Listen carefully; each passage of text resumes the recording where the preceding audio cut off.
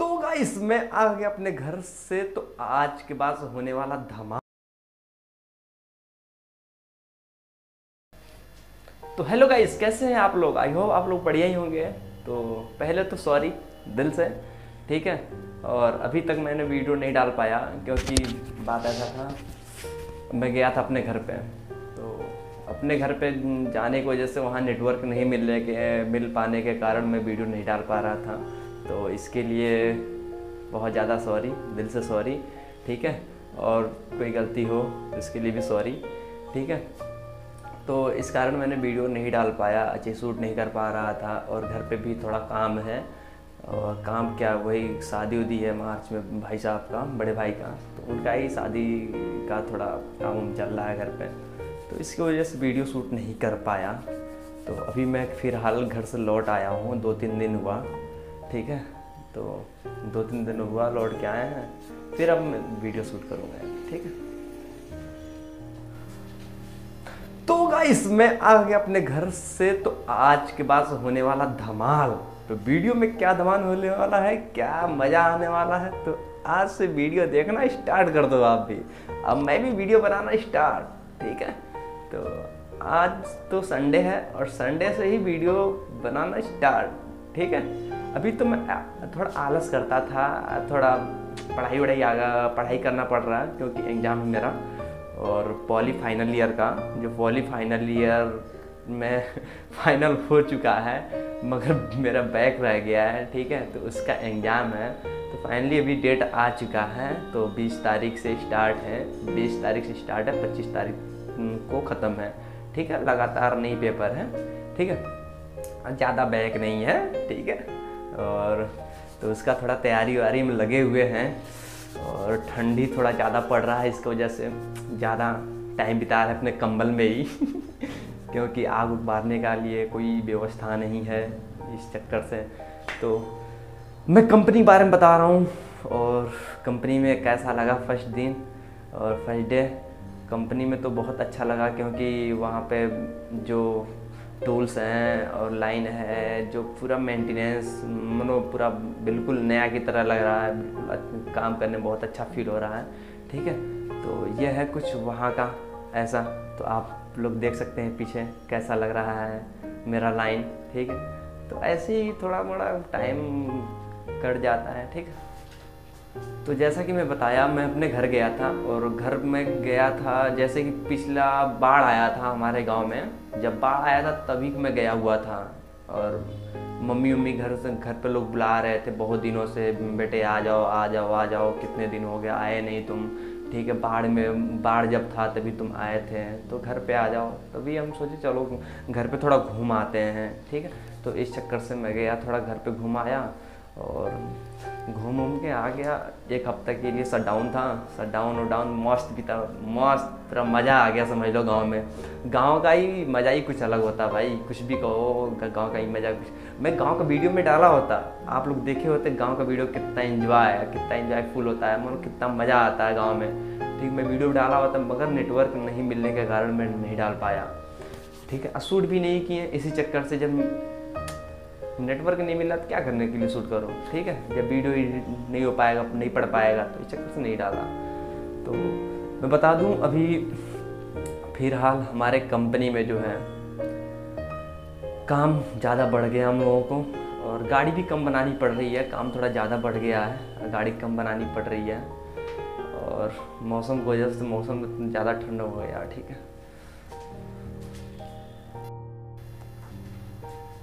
यार एक बात है, मैं कुछ कहना चाहता हूँ आप लोगों से।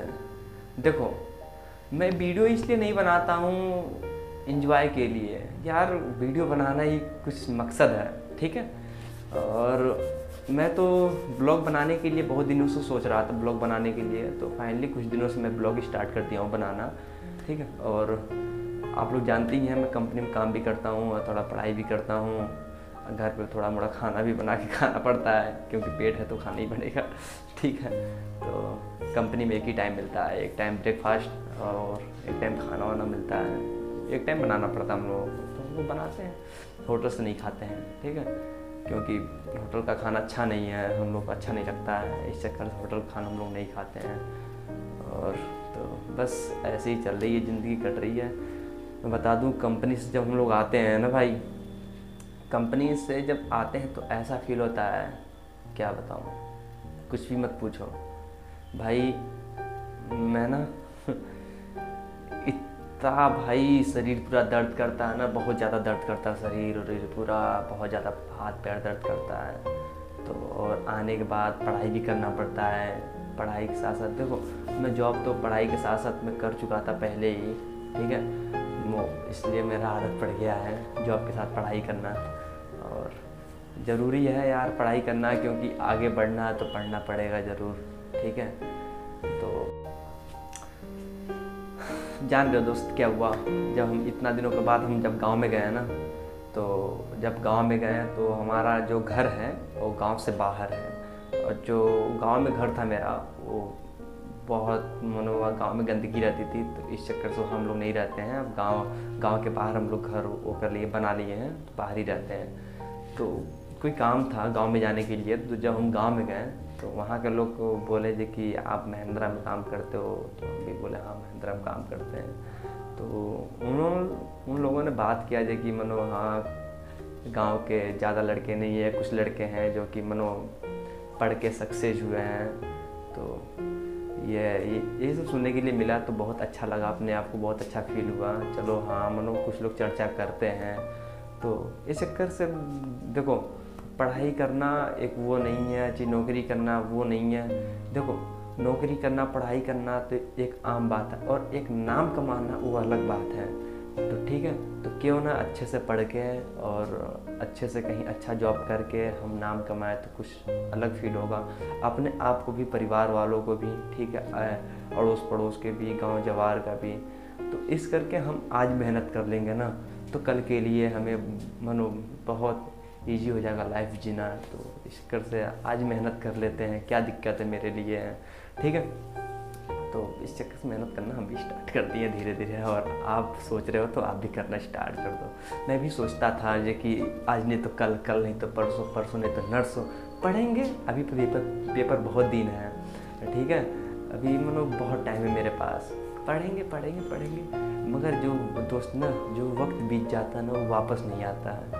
तो इस चक्कर से वक्त के साथ चलना सीखें, ठीक है? उसके चा, उसके साथ हम चलना सीखेंगे ना तो बहुत कुछ लाइफ में हमें मिलेगा, ठीक है? हम जितना सोचे नहीं होगा ना, उससे कई गुना हमको मिलेगा।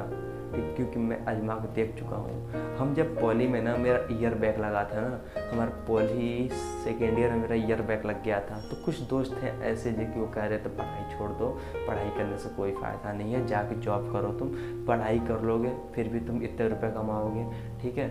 और अभी भी तुम जाके बिना पढ़ाई किए हुए भी इतने रुपए कमा सकते हो तो क्यों ना बिना टाइम इन्वेस्ट किए हुए जाके पैसा तुम कमाओ? ठीक है? मगर उनकी बात हम नहीं माने, क्योंकि हमें कमाना था नाम। ठीक है? हमें अपने माँ बाप का नाम करना था, गाँव जवाहर का नाम करना था तो हम इसलिए हम सोच लिए फाइनली हमें पढ़ के ही कुछ करना है। तो इस चक्कर से हम, जब हमारे ईयर बैग लग गया ना तो कुछ लोग थे छोड़ दिए पढ़ाई हमारे साथ वाले। इस चक्कर से मेरे को डिमोटिवेट बहुत महसूस हुआ। लोग किए भी क्या बोलते हैं डिमोटिवेट तुम पढ़ाई मत करो मत करो मत करो मत करो। मगर हम अपनी दिल का सुने।